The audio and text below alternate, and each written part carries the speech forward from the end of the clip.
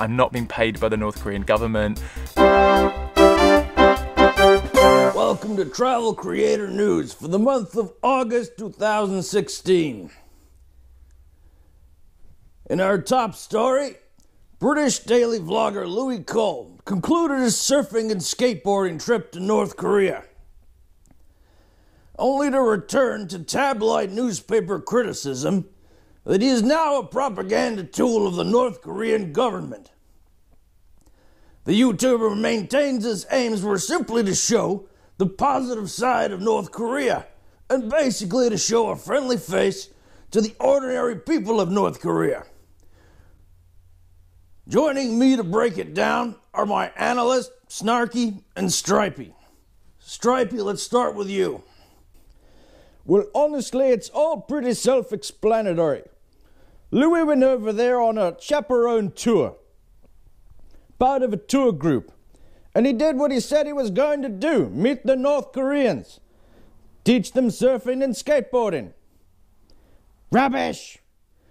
All Louis did was present exactly the same message to the world as what the North Korean government wants you to see. They want you to see all the grand statues and impressive buildings and shiny, happy people. Well, I did see a lot of shiny, happy people in his videos. Shiny, happy people holding hands. We all know that when you look at recent history of North Korea, you get some damn ugly stories, and none of that is being acknowledged by Mr. Cole.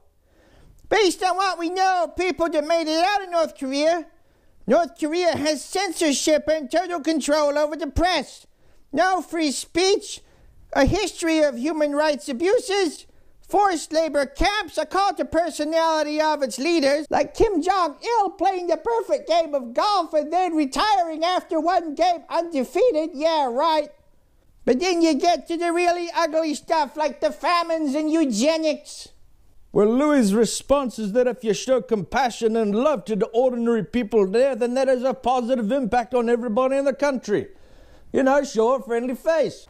I think the only way to make a difference is to connect with those people and show them love, and maybe uh, that will impact the entire household. So, if that means surfing or going on these tours, uh, then I'm really keen to do that.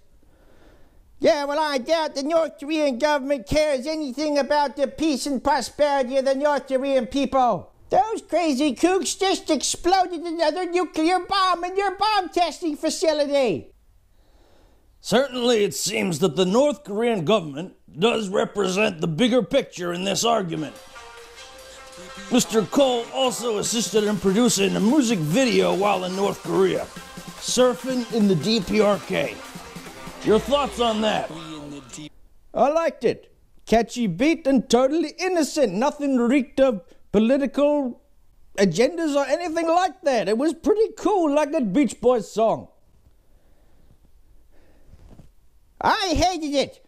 Why on earth did they call this music video DPRK? The Democratic People's Republic of Korea. There's nothing democratic about it, and we all damn well know it. And the fact they tried to make a music video about surfing and there's no waves, well, that's just an epic fail right there. This song sucked. It did not suck. Did too. Did not. Did too. Did not. Did two, did not, did two, guys, did not, guys, did guys. two. Damn it, you're professionals. In other news, Sam Angel concluded his VEDA video every day in August, only to discover how much damn work actually goes into producing a daily vlog. So, I've established that I can make daily content, uh, but I have ruined my sleeping pattern and my social life in process. I now know that I can make daily content. I also know that I don't want to make daily content. And Kiwi Guy reflects on leaving university and how this will affect his travel channel. Good luck in the future, Kiwi Guy. I indeed did leave university. Well, for my American viewers, college. I failed. I failed two exams um, in the course, but I have um, bigger plans for my channel. And I'll tell you all about it when I get back to Auckland. That's the Travel Creator News for the month of August. Do you know of something interesting or newsworthy that a travel creator has done?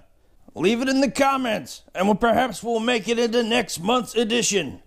All clips utilized under fair use on this non monetized video. Hit that like button, share the video on Facebook and Twitter, and consider subscribing. We'll see you next time on next month's Travel Creator News.